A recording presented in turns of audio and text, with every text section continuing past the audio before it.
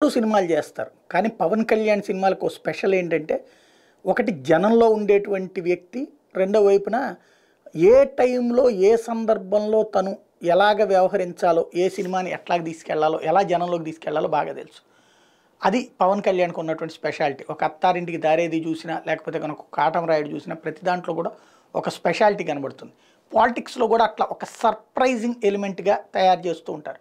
వాస్తవంగా అయితే కనుక పెద్ద మంది బలం లేదు. అంటే మంది బలం అంటే కార్యకర్తలుగా ఇది అభిమానులు గణం ఉంది. అభిమానులు కార్యకర్తలుగా పూర్తి కన్వర్ట్ కాలేదు. పార్టీకి ఒక స్థిరమైనటువంటి వ్యవస్థ లేదు. అట్లాంటప్పుడు ఇబ్బందే. కానీ పార్టీని లైమ్లైట్లో ఉంచడం కాదు పోటీలో ఉంచడం ట్రయాంగులర్ ఫైట్ తీసుకురావడంతో పాటుగా ఎవరైనా సరే గెలవాలనుకునే ఎవరైనా సరే పవన్ కళ్యాణ్ వైసీపీ గెలవాలనుకుంటే పవన్ ఒంటరిగా పోటీ చేయాలని భావించే స్థాయికి వచ్చాడు.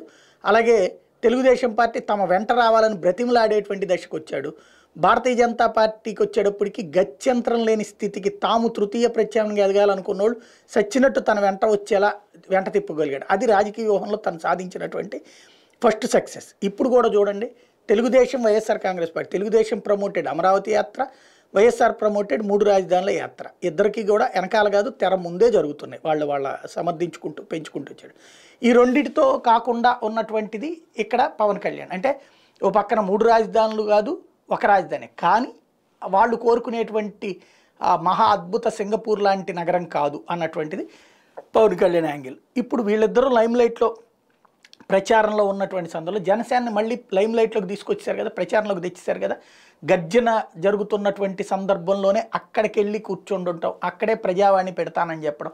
అక్కడే ఉత్తరాంధ్ర జిల్లాలకు సంబంధించి సమీక్ష నిర్వహిస్తానంటాం ఇక్కడ తెలుగుదేశం ఎంత ప్రచారం చేస్తే అమరావతిలో ఎంత ప్రచారం వచ్చింది? ఇటు వైఎస్ఆర్ కాంగ్రెస్ పార్టీ ఎంత తిప్పలు పెడితే వచ్చింది? తిన్న ట్వీట్ల ద్వారా ప్రచారంలోకి తెచ్చుకోగలిగారు అట్లాగే పోటీలోకి తెచ్చుకోగలిగారు. అదే పవన్ కళ్యాణ్ వ్యూహ చతురత